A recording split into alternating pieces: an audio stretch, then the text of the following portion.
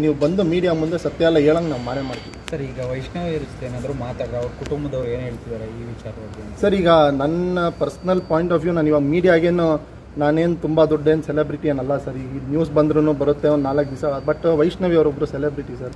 ಅವ್ರಿಗೂ ಅವ್ರದ್ದೇ ಆದಿದೆ ನಾನು ಕೂಡ ಒಂದು ಫಿಲಮ್ ಮಾಡಿದ್ದೀನಿ ಸೊ ನಾನು ಕೆಲವ್ರು ಚಿರಪರಿಚಿತ ಹಾಗೂ ನನ್ನ ನಮಗೂ ಸರ್ಕಲ್ ಇದೆ.